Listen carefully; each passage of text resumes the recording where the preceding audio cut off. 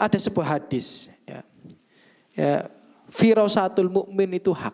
Firasat seorang mukmin itu hak gitu. Meramal itu biasanya menyengaja. Sampean minggu ngarep sogih. Nah, itu menyengaja ini. Paham maksudnya? Jadi dia seolah-olah ya mengetahui yang goib itu namanya meramal, membaca masa depan. Firasat sebenarnya, firasat itu dia tidak yakin 100%.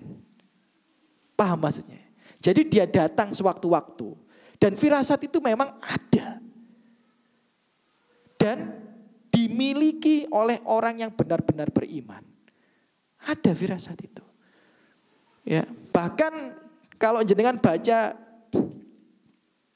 bukunya Imam Syafi'i, Ya, Imam Syafi'i itu termasuk orang yang punya firasat kuat. Firasat itu kan kalau bahasa Indonesia itu namanya intuisi. Ya, paham maksudnya? Ya, intuisi, intuisi itu bukan meramal. Intuisi itu adalah eh, apa namanya datang ya dengan tiba-tiba dan tidak yakin 100% gitu. Enggak yakin 100%, ya.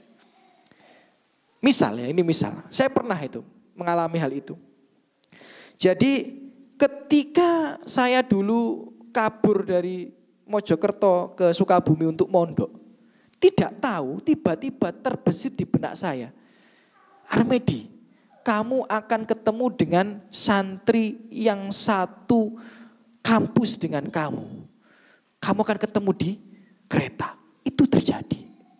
Nggak tahu, tiba-tiba ada ada yang seperti ini aja. Tapi nggak yakin 100% saya. Jadi di kereta saya itu cuma bawa bawa uang 100 ribu karena minggat. Ya, cuma bawa uang 100 ribu minggat naik kereta. Nah saya nggak tahu uang 100 ribu ini cukup nggak sampai Sukabumi nggak tahu saya berangkat aja. Tidak tahu ketika sampai Jogja tiba-tiba ada firasat Armedi kamu akan ketemu dengan orang yang ke Aroya. Firasat aja, firasat. Tapi nggak yakin 100%.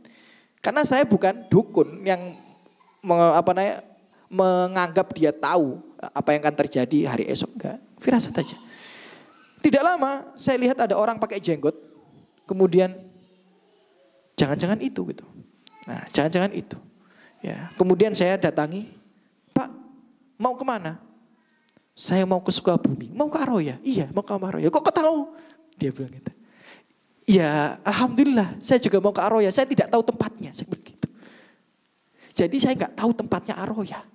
Cuma berangkat aja. Cuma bawa uang 100 ribu. Nekat aku. Di, sampai Jogja tiba-tiba terbesit Armedi kamu akan ketemu sama orang yang sama-sama berangkat ke Aroya.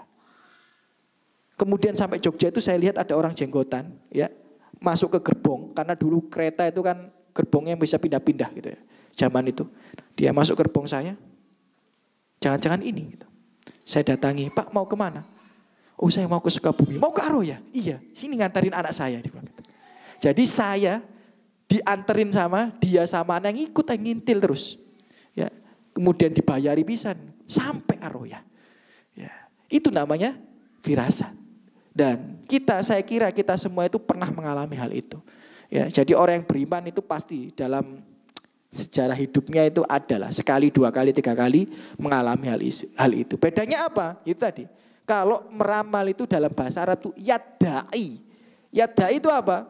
Mengaku-ngaku mengetahui apa yang akan terjadi di hari esok. Sedangkan firasat itu dia tidak yakin 100%. Ya. Dan ya hanya firasat saja. Ya. Dia hanya menebak, oh mungkin sepertinya ini. Oh mungkin sepertinya ini. Tapi tidak meyakini satu oh saya ini tahu hal goib enggak. Oh, dan firasat itu tidak terus menerus biasanya ya. Hanya sesekali datang, ya sesekali datang. Umar bin Khattab jenengan baca sejarahnya pernah di mimbar bilang gini. Musuh akan nyerang. Ada sejarahnya, jenengan baca nanti.